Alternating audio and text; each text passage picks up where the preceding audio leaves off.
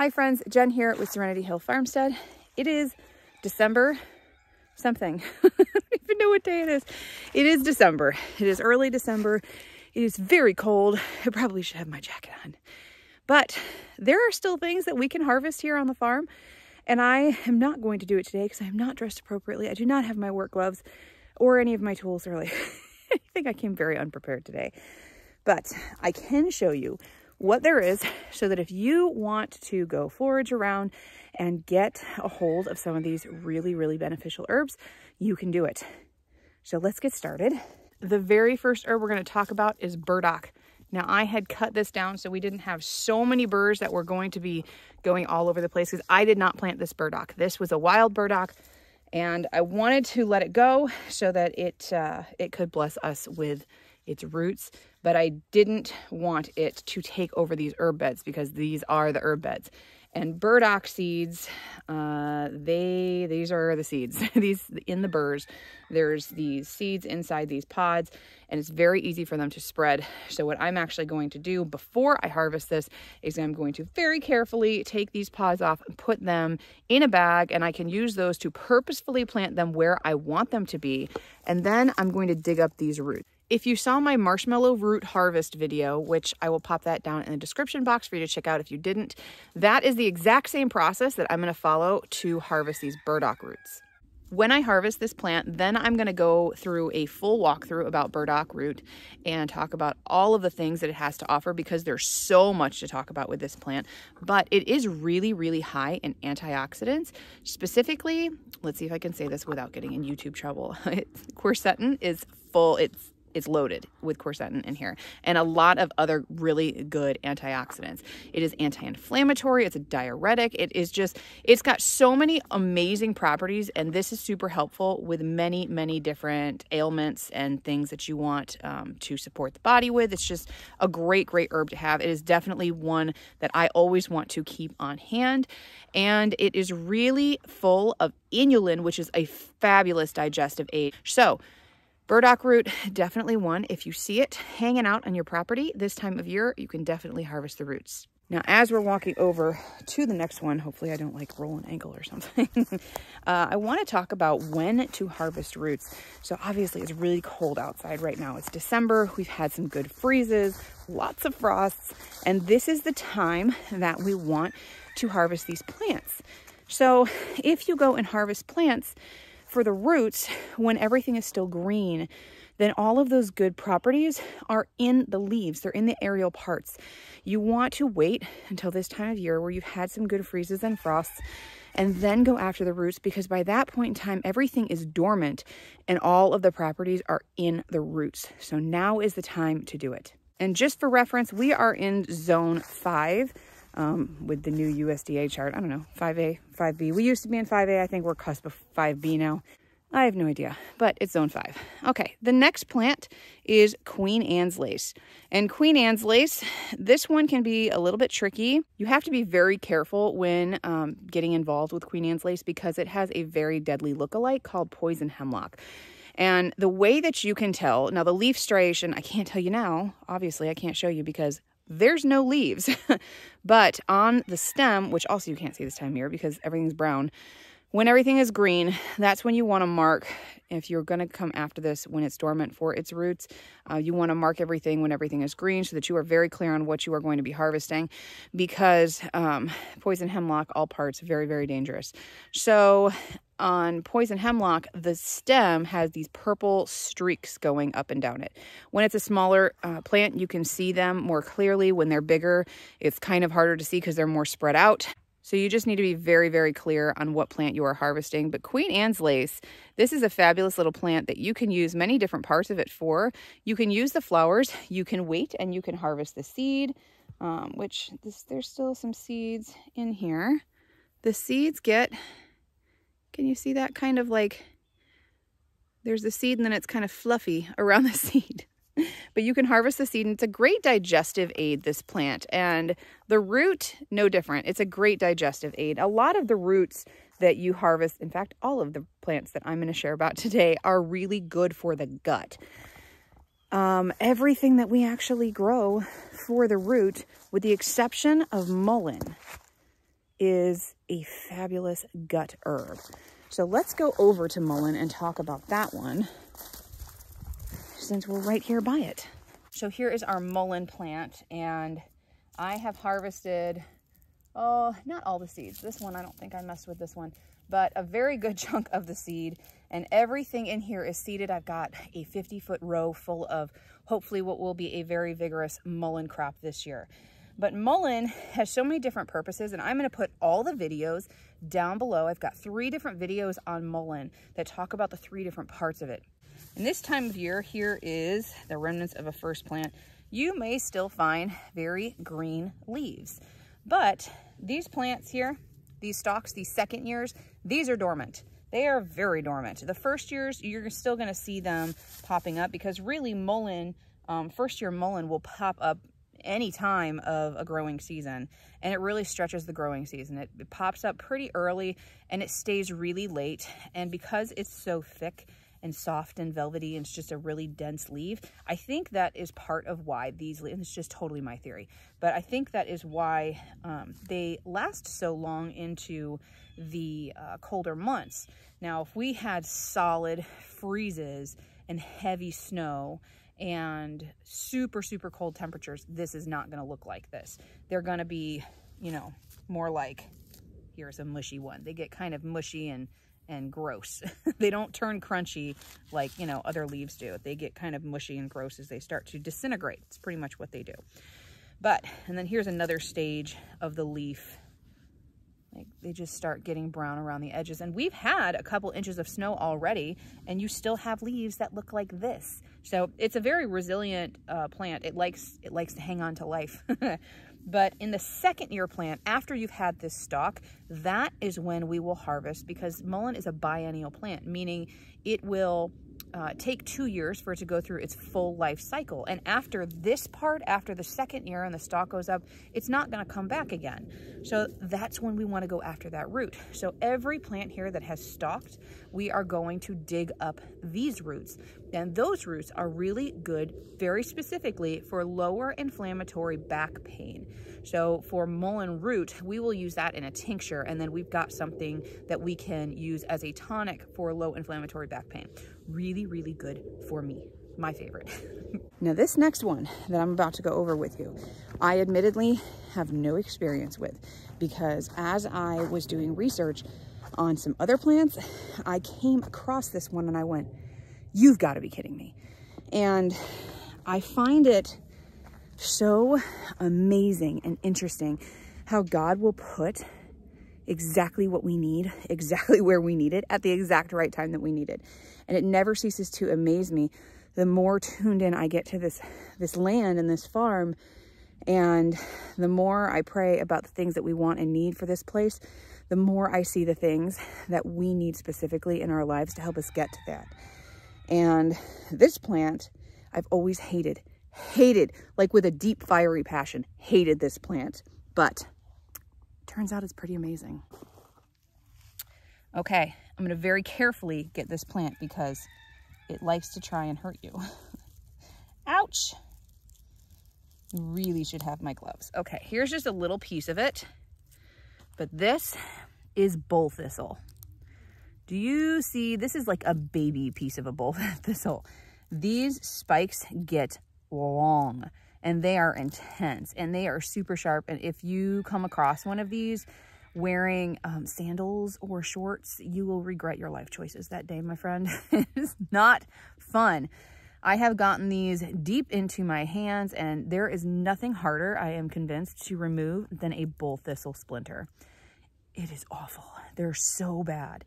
And I hate these because thistle, they spread like it, nothing else. I mean, like they just, I have nothing to compare it to. they spread so, so easily because they spread by air. You know, you've got like that milk, like thistle, okay? When thistle flowers, it looks like, looks like thistle, like milk thistle or anything else. There's slight differences in some thistle variations, uh, but they all pretty much have the same kind of characteristics and qualities and how they're going to flower and spread. They spread with the wind. So if your thistle flowers, you are going to have thistle for at least the next seven years that you're going to be contending with. And bull thistle, I'm used to Canadian thistle on our, you know, backyard homestead. And we didn't have any Canadian thistle out here at first, but it started creeping in during the, with the one section that we had to till, Canadian thistle came up and it was, it was a shame. And ironically enough, we had to till that area because we were trying to get rid of bull thistle it was not smart. But bull thistle, you cover it, it still comes back. Like all of the things that we were trying, the tilling was a last resort. And all we did was create more Canadian thistle. Totally side, total side note there. Okay, bull thistle root. I just found out that bull thistle root is excellent for anti-inflammatory properties, specifically those with spondyloarthropathies. So spondyloarthropathy is ankylosing spondylitis. It is if you have inflammatory arthritis in your back. Spondylo is spine, arthritis, your arthritis. So if you have spondyloarthropathy, this is what you want, this root, bull thistle root. Now, I have zero experience in harvesting bull thistle root. I have plenty of experience in killing bull thistle. it's not easy. These plants get super tall. We had one and I let it go because I wanted to see how big it was before it started to flower. This thing, no joke, was like four, four and a half feet tall. This sucker was huge. And the stalk was like this big. It was enormous. I wish I had pictures of it. Maybe I do. I'll have to, if I can find a picture of it, I'll pop it up here. It's going to be hard though. I don't know if I do have one.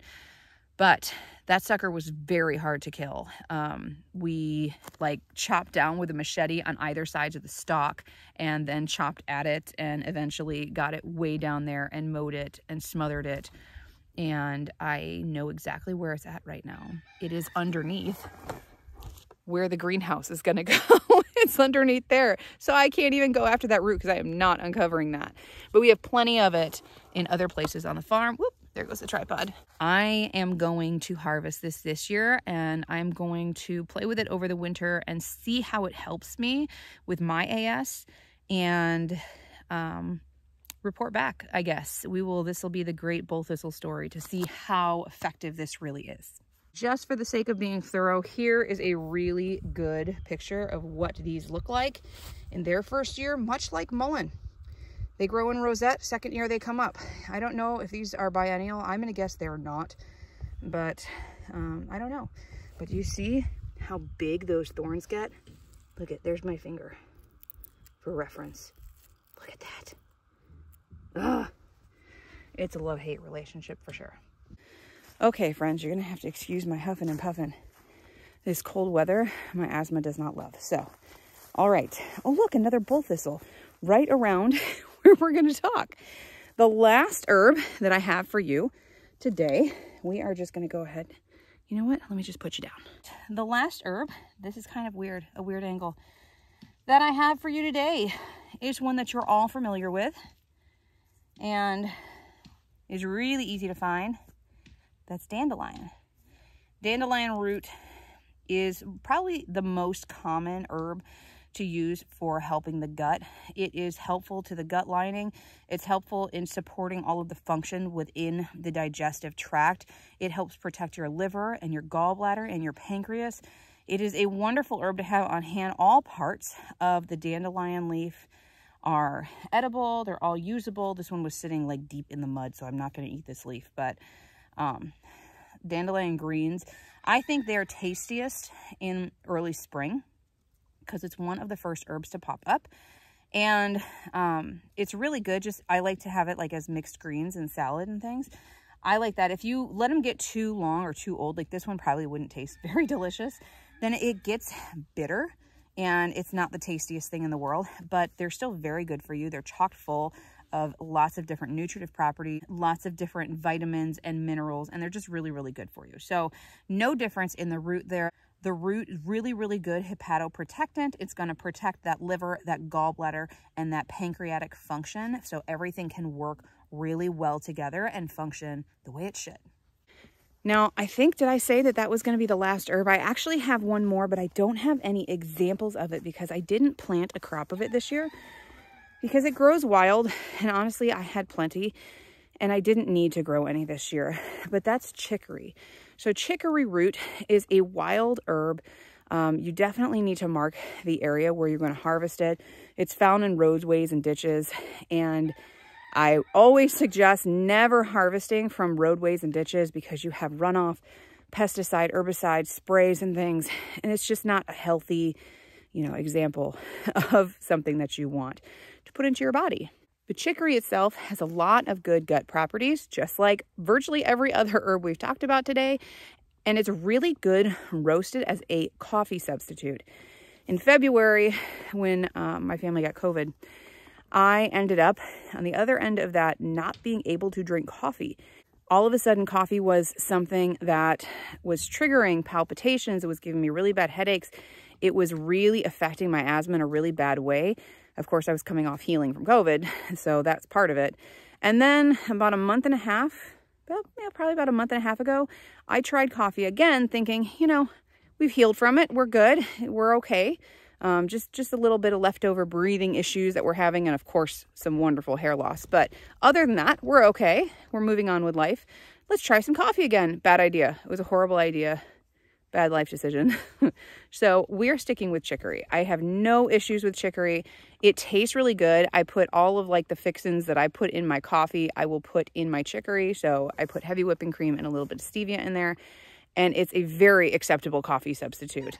I do like roasted dandelion root tea, which I did make a video for. I'm all dirty now. I did make a video for that. If you want to check that out, I'll stick that down there too. Uh, but the chicory root, by far better than the dandelion root. I think um, it's just got it's just got a better flavor and it's not as bitter as a dandelion root can be. So I will always choose the chicory root over the dandelion root. But um, chicory root, we haven't really grown tons of. I've grown some little bits here and there and just kind of mixed it in with the things that I've bought. There is a coffee, like a, well, it's not coffee. It's a, it's a coffee tea, as my kids call it. Uh, there is one that I actually get at our health food store, but you can get it on Amazon and I will put a link down in the description box below. It's called Teeccino, I think is the way you pronounce it. And I like the hazelnut one. It's really good. It's really good. And it does also have some of those properties that help energize you and get you moving in your day. So there are what was supposed to be five herbs. What did we talk about today? Burdock, Queen Anne's lace, mullein, dandelion, and bull thistle. So those are five different herbs that you can go after for their roots in December. And if you live in a climate that's a little bit warmer and you really don't start getting super cold until like January or February, then you've got some time and you can harvest your roots probably well into that season. You just always want to make sure you check specifically on your area and what experienced gardeners and herbalists or farmers are doing in your area. Here, we can harvest now and I will probably end up harvesting into January um, or I could. I would like to get everything done now, but we'll see. We'll see what happens. But if the if the weather stays what it is now, which is very mild for this time of year, then we could keep harvesting um, well into January. So don't think that just because the actual growing season is over that there's nothing that you can do in your garden and there's no herbs to be taken advantage of because there absolutely are. If you haven't subscribed yet, make sure you hit the subscribe button and the notification bell because this is not the last of this I'm going to be sharing about.